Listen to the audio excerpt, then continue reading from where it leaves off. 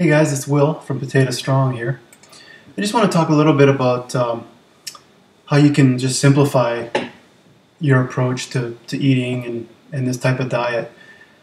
Um, the reason I'm, I'm doing this is, you know, I get a lot of questions and private messages and see what people are posting on various videos, like the comments, and also, you know, various videos that I've done talking about different things and when I looked at, um, I really looked into metabolism, like how we burn fat and carbs, and and uh, looked at a lot of science and stuff like that. And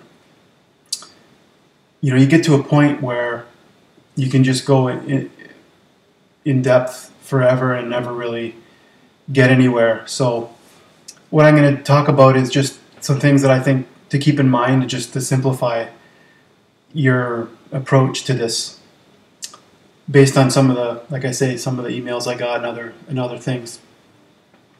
So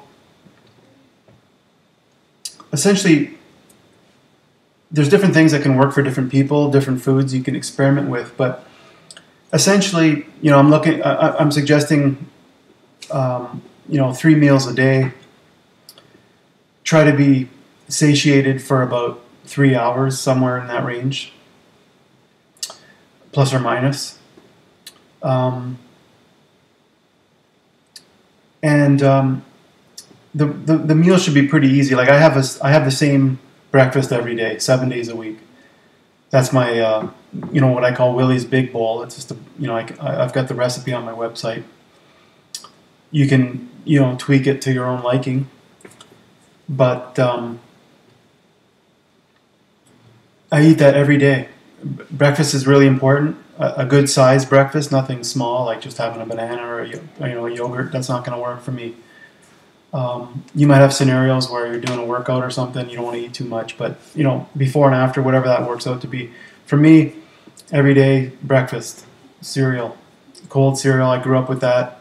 I have you know a healthy. I have oats and stuff like that. So it's uh, not the the sugary refined ones that you see in the store, but and then you know the lunch and the dinner it's it's it's there's only like most people probably I would assume based on my myself they eat the same batch of meals every week. Um, now you that might change over time as you you know you get bored and there's different things, but during periods of time I find like we always kind of eat the same group of meals. So I've got all my recipes on the website, but you know we'll have the, the lentil shepherd's pie with some corn or broccoli.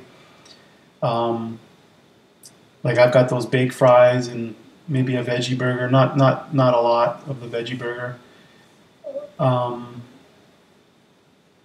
potatoes, mashed potatoes with corn. That's like a staple, or some kind of side vegetable.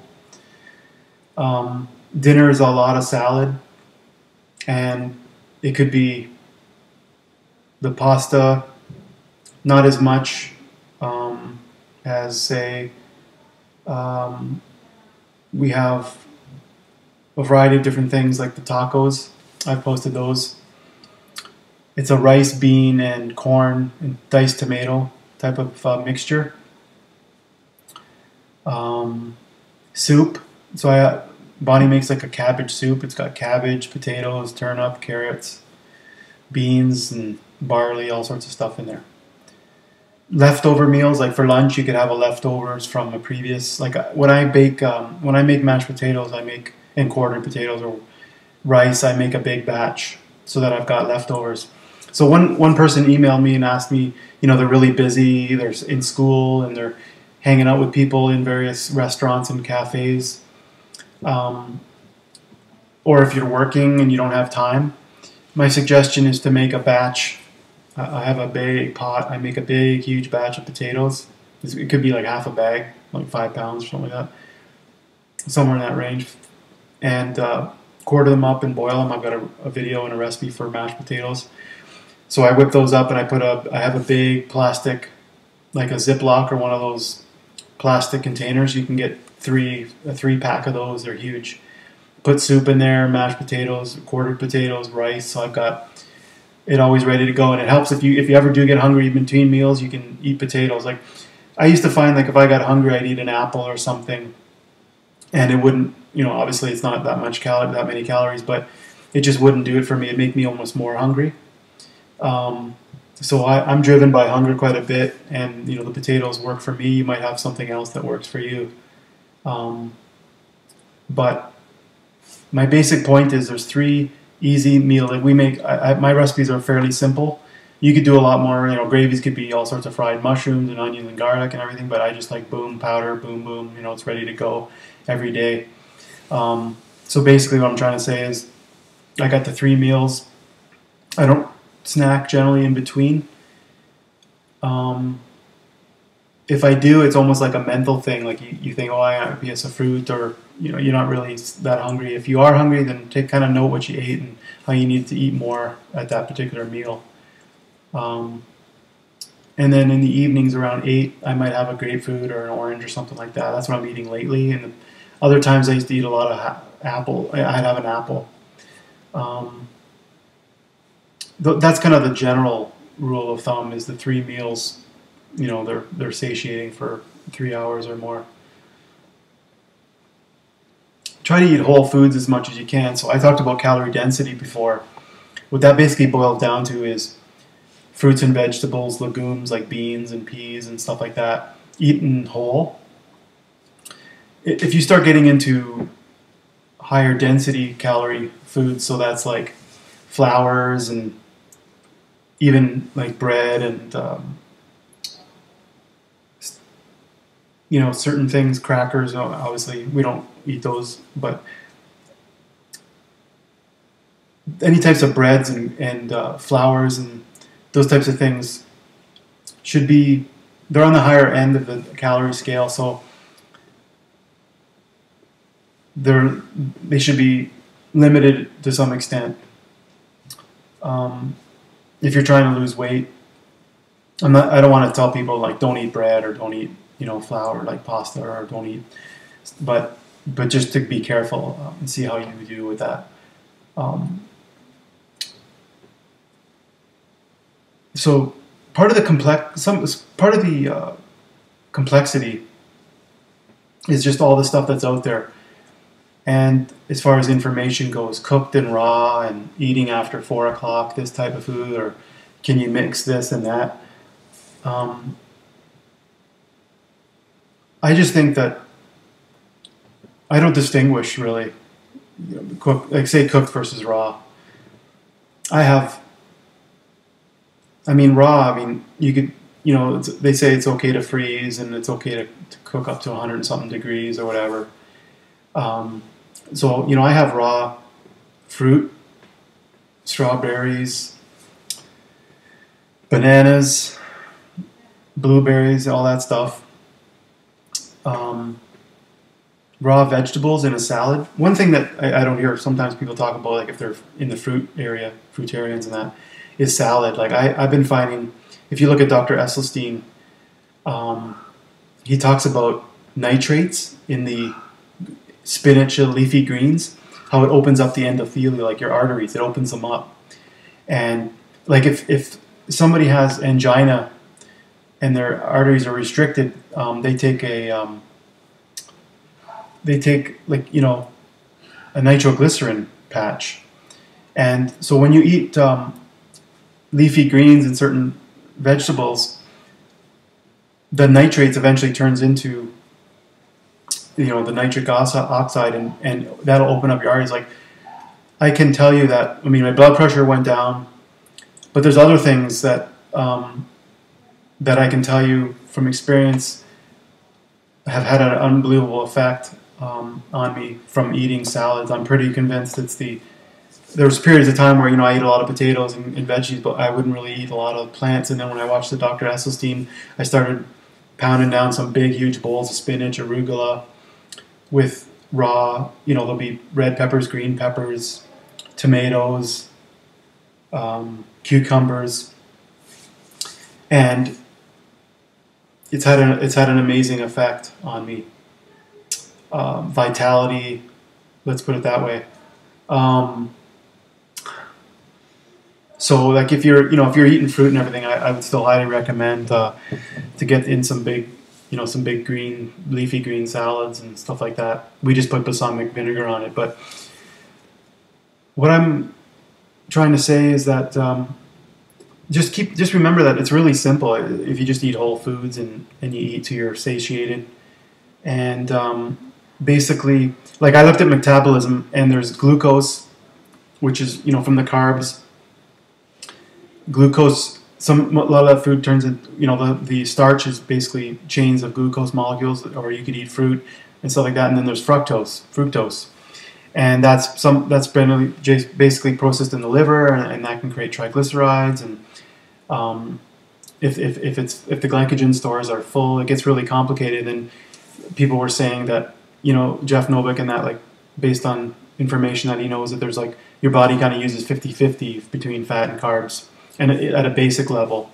And that'll change if you start exercising or what your dietary habits are. So there's there's people that say well when you restricted your calories um, and you start going back to eating more calories you can you can gain fat so that obviously means if you're eating a low fat diet that the carbs are turning to fat because your body metabolism is kind of messed up people that eat high high fat like atkins or they go into ketosis and your body starts to use ketones as fuel so your body can change and adapt so when I looked at metabolism, and some people will say, well, there's a fat deficit. You need a fat deficit. So that just that doesn't mean like the fat you burn and the fat you eat. There's also some of the carbs that turn to fat. So there's a you know there's a mechanism for that in a few ways as far as de novo lipogenesis. There's the uh, fructose in the liver can get converted to triglycerides. So there's there's mechanisms for your body to create and store fat from carbohydrates as well as the fat that you eat. And so with with the combination of the fat you eat and some of the carbs turning to, to fat, you know that should that should um, if that's less than the fat that your body's burning, then you should be burning fat. You know you should lose fat, but but you know how do you know how much fat your body's burning? And then people get into well, I'm so I'm going to work out on an empty stomach and I'm fasting, and it just it just gets so complicated that I look at things like calories in and out, even though that's not 100% accurate, the general idea of amount of calories is going to be accurate. Now, a lot of the carbs that you eat don't necessarily turn to, they're not totally absorbable. There's there's resistant starches. There's um, you know some of the carbs don't really have four grams, four calories per gram, which I talked about before. So it gets really really complicated. So I look at calorie density for the most part as far as how I think of things. And that just means eating lower calorie density food. So that's fruit, vegetables, legumes get start getting up there, the brain, the breads and the grains, and that. And then uh, you know I don't eat the, the oils and nuts have to be. So you know you handle certain things with care. You handle the nuts with care. that sounds funny. Um, you know you you careful about how many nuts you're going to eat if you're able to put a little bit of a few nuts and seeds on a salad or, or just you know that's great but you're going to probably have a bag or something um, you know a, container of nuts around somewhere and, and if you're tempted to eat it all the time then some of the theory goes out the window. Um, if every once in a while you eat you know some bread with soup or um, you know you, there's flour products i think that's okay. I think you know you have to be a human being and enjoy some of the food too. If you're going from a meat and dairy diet, um, you know, you, you're cutting out so many things, meat and dairy and eggs and oil. And um, once in a while you make some muffins or something and there's some whole wheat flour, you make a pizza dough. Like pizza dough, if you look at flour, you know, it's fairly dense in calories. Um, but, uh, you know, eat, it's going to be a lot better than, you know, the vegan pizzas than these cheese filled pizzas with all the oil. And if you have a few pieces of pizza and have a big salad, and you know have leftover pizza for lunch the next day, um, you know I think you'd be fine. I don't think you know you should necessarily do it every day, but just you know you got to stick to this diet. If people go off the diet and go back to meat and dairy, then it's a whole failure. And if you know if they could have eaten a little bit more pizza or a little more things that they liked and not completely crashed and burned, I think there's value in that.